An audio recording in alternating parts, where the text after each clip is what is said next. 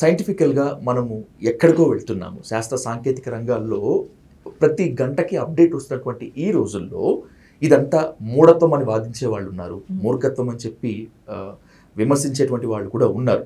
ఎలా సాధ్యమవుతుంది అసలు ఇలాంటి పరిస్థితులు నిజంగా ఒక రాతి విగ్రహం నుంచి ఒక మెన్సెస్ రావటము. అది భక్తులు తీసుకుంటే అందరికీ అద్భుతంగా ఉండటము సాధ్యమేనా సాధ్యమే అండి. ఎందుకంటే ఇప్పుడు అనుభవించిన వాడికి అనుభవించినట్టు అంతే.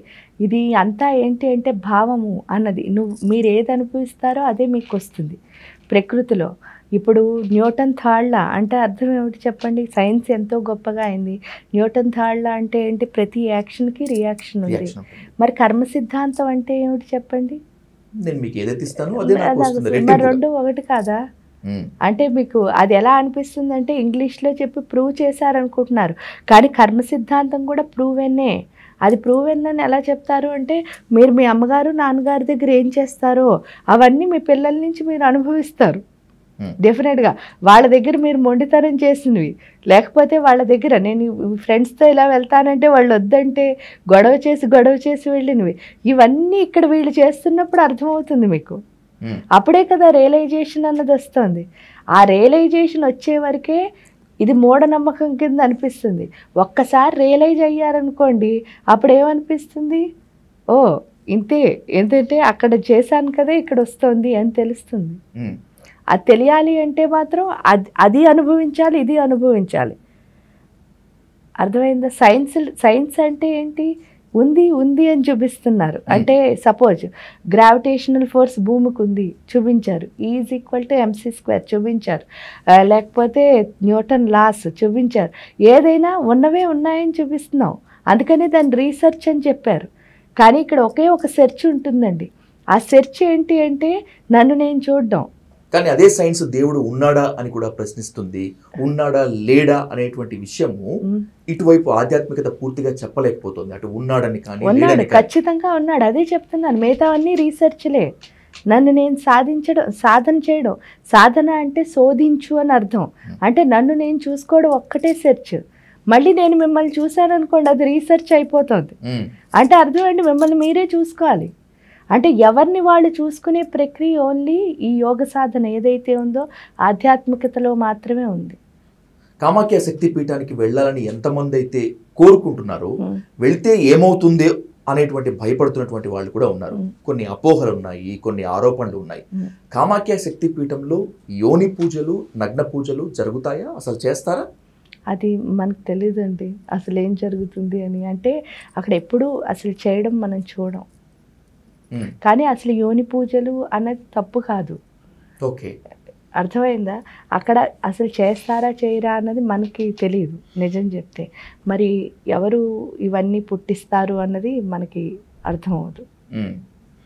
అక్కడ కామాఖ్యలో అమ్మవారికి కూడా ఉమ్. మద్యము మాంసము ఇతర వామాచార పద్ధతులు పూజలు జరుగుతూ ఉంటాయా?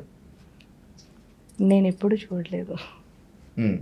ఓకే కామాఖ్య తత్వాన్ని అర్థం చేసుకోవాలి అంటే. కామాఖ్య తత్వాన్ని పూర్తిగా తనలోకి ఆవాహన చేసుకోవాలంటే ఏం చేయాలి అసలు వీళ్ళంతా కామాఖ్య ఓన్లీ చేయాల్సింది ఒకటే ఒకటి అమ్మగారికి సరెండర్ అవ్వడం అంతే.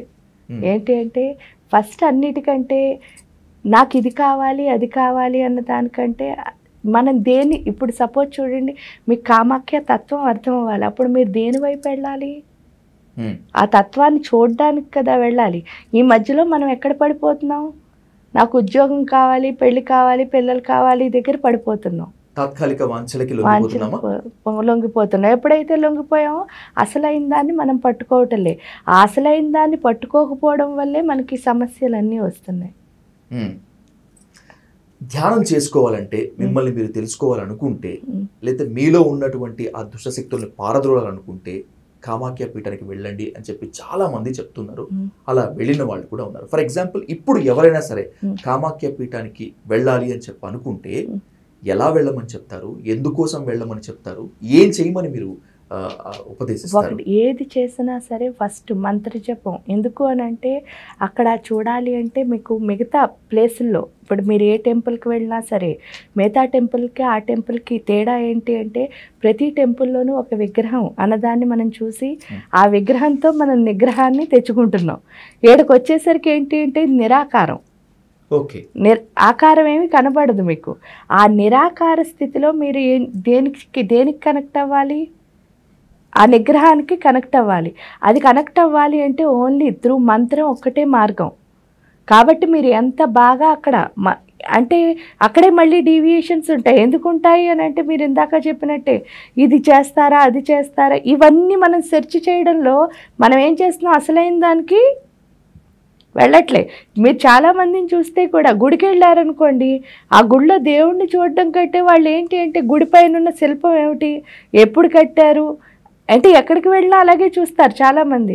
అంటే ఆ చరిత్ర అంతా తెలుసుకుంటే నాకు నాలెడ్జ్ వచ్చేస్తుందేమో అంటు అనుకుంటారు. కానీ దాన్ని ఇక్కడ మామూలు ఆధ్యాత్మిక భాషలో ఏం చెప్తామంటే విశ్లేషించడం అంటాం. ఓకే. అంటే అనాలసిస్ ఎప్పుడైతే మీరు ఎనాలసిస్ అంటే ప్రతిదాన్ని అనలైజ్ చేస్తున్నారు అంటే చుట్టూ ఉన్నదంతా చూస్తున్నారు ఈ అనాలసిస్లో కానీ అసలైన దాన్ని మీరు ఏం చేస్తున్నారు. పట్టుకోలేకపోతున్నారు. ఎప్పుడైనా అంతే ఒక ఒక విద్య ఉందనుకోండి అంటే ఒక నాలెడ్జ్ ఉంది. ఆ నాలెడ్జ్ పక్కన అట్రాక్షన్ ఎప్పుడూ ఉంటుంది. అంటే ఇది చూడండి వాళ్ళు తాగుతారా? లేకపోతే మీరు అన్నారు ఇందాక ఈ నగ్న పూజలు ఇవన్నీ ఏంటి అంటే డిఫరెంట్ డిఫరెంట్ థింగ్స్ మనం ఏం చేస్తున్నాం అంటే అసలైన దానికి కనెక్ట్ అయ్యాము అంటే దాని ఒరిజినల్ తత్వం అర్థమవుతుంది. అంటే మనం చేస్తున్న దాని తత్వం ఏమిటి అన్నది. ఇప్పుడు సపోజ్ మీరే మద్య తాగుతారా అన్నది.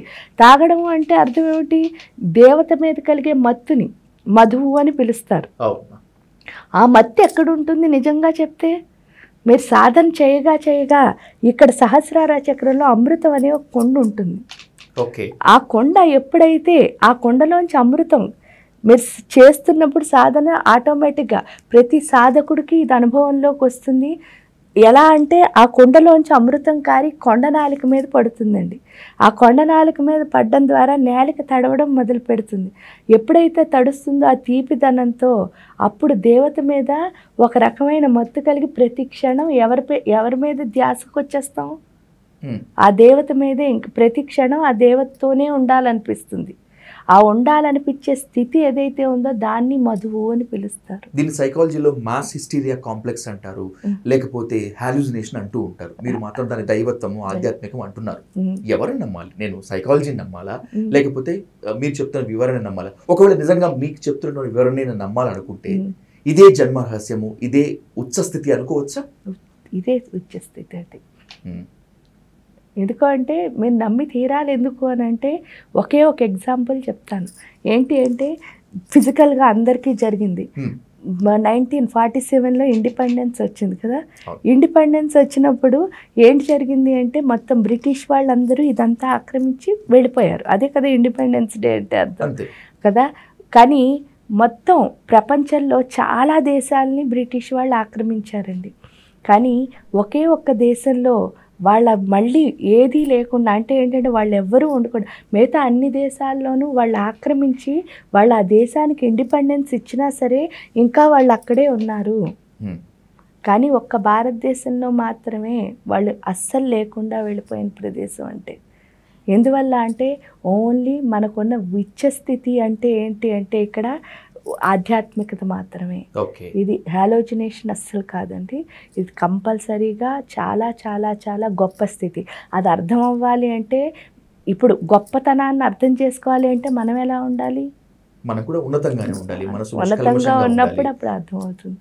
ఆధ్యాత్మికత అంటే డెఫినెట్గా అర్థమవుతుంది. ఏంటి అంటే అక్కడ ఏదైనా సరే ఇప్పుడు నగ్న పూజ అన్నది అసలు ఏంటి అంటే యోని పూజ అన్నది తప్పు కాదు. ఎందుకు కాదు అని అడుగుతున్నారు? ఎందుకు అని అంటే మొత్తం బాడీలో ఏంటంటే యోని అంటే త్రిగుణాత్మకమైన యోనిని మంత్రపూరితంతో ఎప్పుడైతే చేస్తామో అక్కడి నుంచి వచ్చే మాతృత్వం అనే శక్తి శరీరం అంతా బాగుంది. ఎందుకంటే శక్తి అన్నది మనకి ఇక్కడి నుంచే పైకి వస్తుంది. ఆ పైకి వచ్చిన శక్తి అక్కడ ఏం చేస్తూ అక్కడ ఎలా ఉంది? ఇప్పుడు కోరికలతో ఉంది. ఈ మంత్రాన్ని ఎప్పుడైతే అక్కడ చేయడం మొదలు పెడతామో. ఆ మంత్రం చేయడం ద్వారా ఎందుకంటే మంత్రాణం మాతృకాం దేవీం. ఆ మాతృ అంటే మాతృత్వం అన్నది వస్తుంది. ఆ మాతృత్వం ఎప్పుడైతే వచ్చిందో శరీరం అంతా తల్లితనం అన్నది వస్తుంది. ఆ తల్లితనం అన్నది శరీరంలో ఉన్న ప్రతి పోల్లోకి ఎప్పుడైతే వచ్చిందో మనలో వచ్చే లక్షణాన్ని ఏమంటారంటే దేవతా లక్షణాలు వస్తాయి. ఏ అందుకని చేసేది. కాకపోతే ఏంటి అంటే స్వార్థం పరు స్వార్థంగా చేసాం అనుకోండి ఇంకో ఇలాగే అధపాతాళానికి వెళ్ళాల్సి వస్తుంది. అదే కనుక అది ఉన్నతంగా చేసాం అనుకోండి అది చాలా గొప్పది. అంత అందుకని శాస్త్రాన్ని ఎలా వాడుతుంది శాస్త్రాన్ని వాడేవాడిని బట్టి శాస్త్రం గురించి అసలు ఎప్పుడూ మాట్లాడకూడదు. ఎందుకు అని అంటే శాస్త్రం చాలా గొప్పది. ఉమ్, వాడేవాళ్ళలో ఉన్న స్వార్థం శాస్త్రానికి అంటదు. కాబట్టి అది తప్పు అని మనం చెప్పకూడదు. ఈ వాడే వా వాళ్ళు ఎలా వాడుతున్నారో మనకు తెలియదు కదా. దాని గురించి కూడా మనం కామెంట్ చేయక్కర్లేదు ఎందుకు అంటే ఒకటి వాళ్ళకి ఏమి ఇవ్వాలో దేవుడికి తెలుసు కదా. ఇప్పుడు తప్పు చేశాడు అనుకో ఆ తప్పు చేసిన వాడికి ఏం చేయాలి అన్నది అమ్మవారికి తెలుసు. ఆవిడే చూసుకుంటుంది. మనం మాట్లాడక్కర్లే. ఎందుకంటే ఆ కర్మ కూడా మనకెందుకు? మనం ఎంతవరకు ఎందుకంటే ధర్మిణి ధర్మవర్ధిని అంటారు అమ్మవారిని. మనం ఎంతవరకు ధర్మంగా ఉన్నాం అది ఒక్కటే చూసుకోవాలి. ఎందుకంటే అందరి ధర్మాన్ని మనం కాపాడలేము అట్లీస్ట్ నేను అన్నదైనా ధర్మంగా ఉంటే సరిపోతుంది. కాబట్టి శాస్త్రం ఎప్పుడూ గొప్పదే. అది తీసుకున్న వాడిని బట్టి శాస్త్రాన్ని అంచనా వేయకూడదు.